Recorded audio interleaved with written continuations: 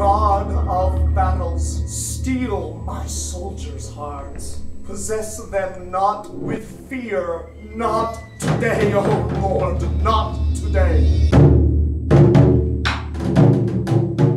If we, with thrice such powers left at home, cannot defend our own doors from the dog, let us be worried, and our nation lose the name of hardiness and of policy. War.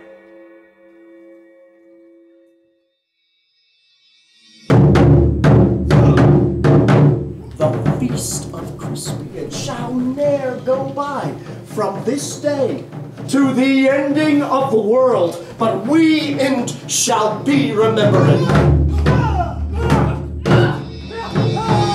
We few, we happy few, we band of brothers. For he today that sheds his blood with me shall be my brother. And